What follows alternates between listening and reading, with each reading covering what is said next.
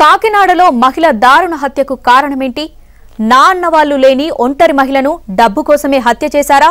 వేరే కోణమేతైనా ఉందా?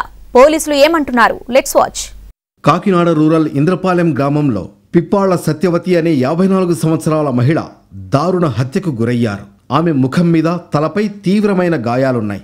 ఎవరూ గమనించకపోవడంతో ఇంట్లోనే మృతదేహం కుళ్ళిపోయింది. దుర్వాసన రావడంతో స్థానికులకు అనుమానం వచ్చి పోలీసులకు సమాచారం అందించారు. తలుపులు తెరిచి లోపలికి వెళ్ళిన పోలీసులకు బెడ్షీట్లో సత్యవతి మృతదేహం కనిపించింది. మృతదేహంపై తీవ్రమైన గాయాలు ఉండడంతో హత్యగా నిర్ధారించారు పోలీసులు. క్లూస్ టీం డాగ్ స్క్వాడ్లతో ఘటనా స్థలంలో విచారణ చేపట్టారు.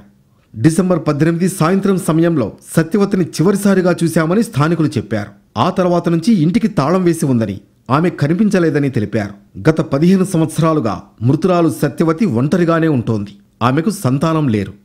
తాళం వేసేసింది బయట డోర్లు లాక్ చేసి ఉంది ఆ లాక్కు ఓపెన్ చేసి మనం చూస్తే లోపల రక్తం మడుగులో పడుంది. హెడ్కి బాగా ఇంజురీ ఉంది.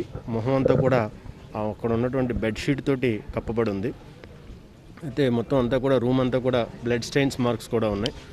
ఈవిడి పద్దెనిమిదో తారీఖు వరకు కూడా ఇక్కడ ఇంద్రపాలెంలోనే ఇదే పోర్షన్లో ఈ పక్కన ఉన్నటువంటితో మాట్లాడింది. పంతొమ్మిది నుంచి కనిపించట్లేదు అని చెప్పి దాని మీద ఈ నైబర్గా ఉన్నటువంటి బేగం కూడా ఆవిడకి ఫోన్ చేసినా ఫోన్ లిఫ్ట్ చేయలేదు.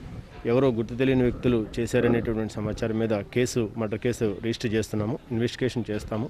కొంతకాలంగా సత్యవతి చిట్టీల వ్యాపారం చేస్తోంది. దీనిలో భాగంగా కొందరికి సత్యవతితో విభేదాలు వచ్చాయి. ఆర్థికంగా బలంగా ఉన్న సత్యవతిని డబ్బు కోసం చంపి ఉంటారనే అనుమానాలు వ్యక్తమవుతున్నాయి. తెలిసిన వారే బెదిరింపులకు పాల్పడి ఆమె నుంచి నగదు తీసుకునే క్రమంలో హత్యకు పాల్పడి ఉండొచ్చన్న కోణంలో పోలీసులు విచారణ చేపట్టారు. సత్యవతి ఫోన్ డేటా ఆధారంగా కేసు ఛేదించేందుకు పోలీసులు ప్రయత్నిస్తున్నారు.